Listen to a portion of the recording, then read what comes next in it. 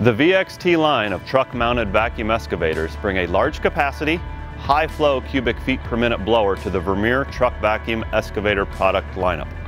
The nomenclature of these machines describes the blower CFM class.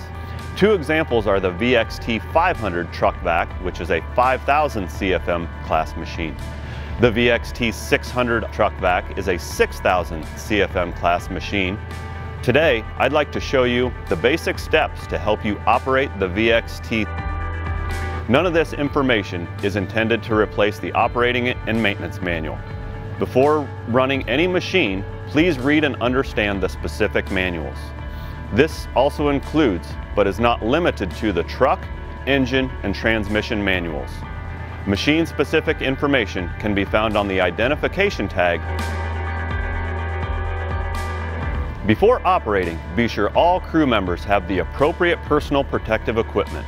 This includes, but is not limited to, a hard hat, hearing protection, and wraparound eye protection. If underground utilities may be present, always wear electrically insulated boots and gloves.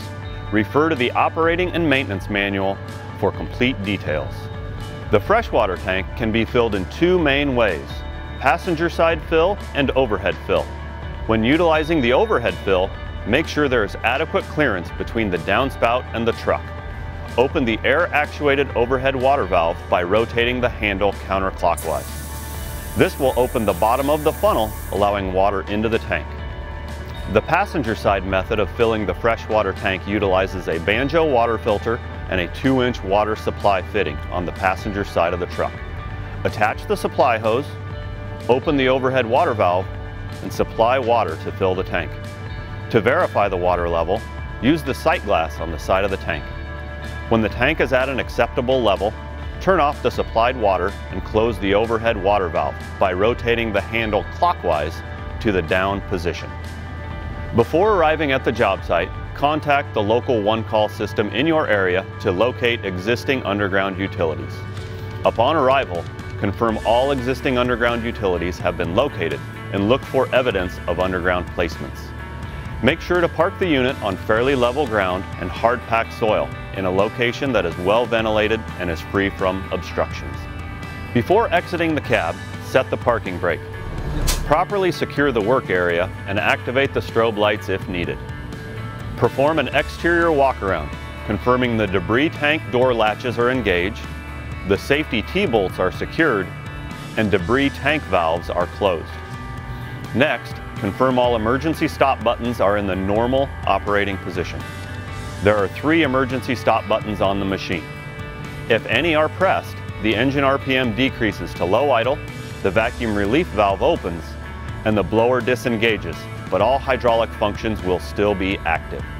This unit has a Kenworth T880 chassis, but can also be equipped with a Mack Granite chassis. There are different operation procedures between the models so make sure to refer to the operating and maintenance manual. Verify the parking brake is set and start the engine. Check gauges, warning horns, and verify NN is illuminated on the transmission display. If it is not, press the N button on the console. Press and hold the brake pedal while lifting the red safety guard and engaging the PTO1 rocker switch. The hydraulics should engage in 10 seconds or less and an icon will illuminate, confirming it is on.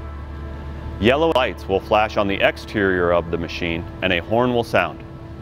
Next, push the PTO2 rocker switch and wait 10 seconds for the transfer case to engage and the icon to appear. If the icon does not illuminate, turn off PTO2, then PTO1, and move the vehicle slightly forward and repeat this process push the D button on the console and the display will indicate 4-4. If equipped with the belly pack remote, remove the battery from the charger and insert it into the remote. If using the handheld remote, remove it from the charger. Turn the emergency stop button in the direction of the arrows to disengage. To energize the remote, press the on button and the audible alarm should stop, verifying the remote is connected. For complete instructions, refer to the section on the Scanreco wireless remote system in the operating and maintenance manual. In the event the remote does not connect with the machine, hydraulic functions can be controlled with a valve bank. It is located on the passenger side, near the water pump cabinet. Refer to your operating and maintenance manual for specific instructions. Lift the boom up off the transport bracket and place the suction tube in the desired area using the boom controls up, down, extend, retract, and clockwise, counterclockwise functions. Next, verify the manual vacuum breaker is in the closed position. This can be opened during heavy load operations to help reduce the load on the machine.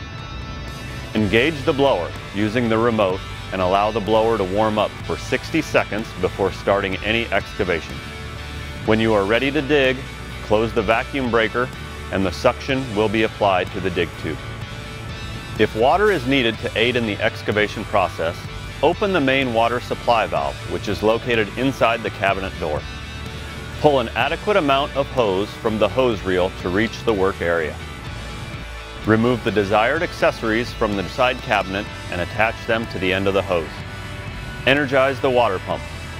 Water flow can be increased or decreased as needed using the remote.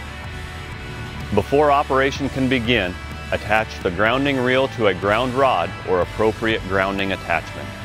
An optional hot water system is available to optimize digging in conditions such as frost. Turn the burner on with the toggle switch and verify the light illuminates. Adjust the thermostat to the desired temperature. Do not exceed the maximum working temperature of the water hose and accessories or damage may occur. After digging operations are complete, start the shutdown process. Open the vacuum brake and idle down the blower using the remote. After two minutes at low idle, turn the blower off. If the hot water system was used, turn it off. Turn the water pump speed control to zero and relieve the pressure on the hose.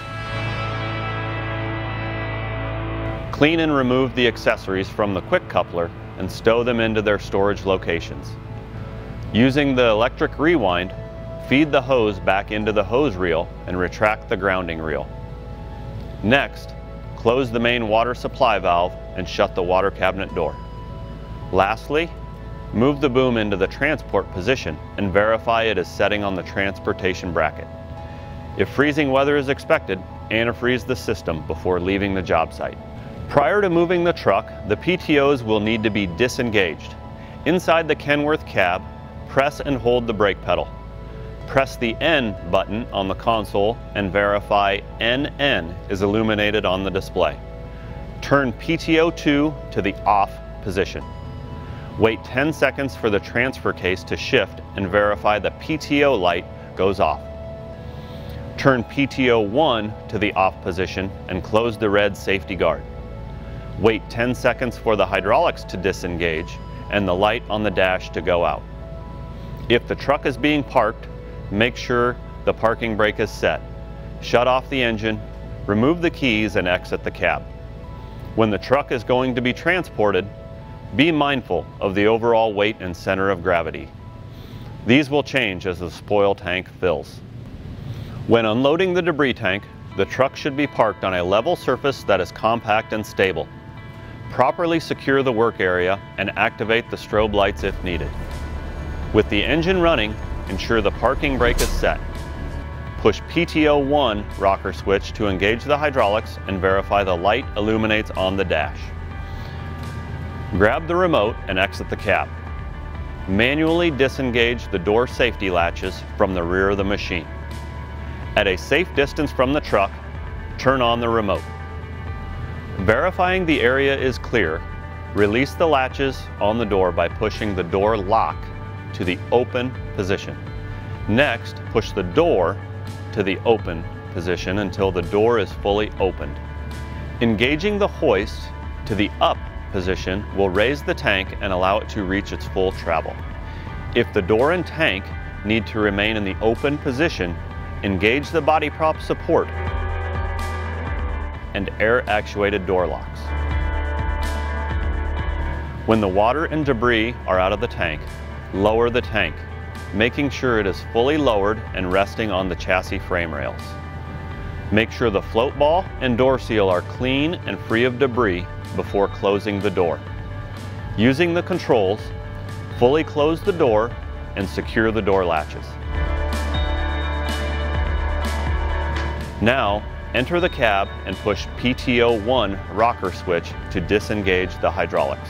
It is a best practice to thoroughly clean the machine at the end of each day.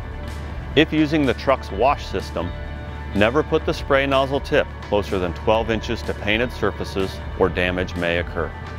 It is also important not to spray barrier agents, such as form oil, directly onto the remote controllers or the control cabinet. These may cause significant corrosion to electrical components. Now you have a basic understanding of how a VXT truck vac operates. Thanks for watching.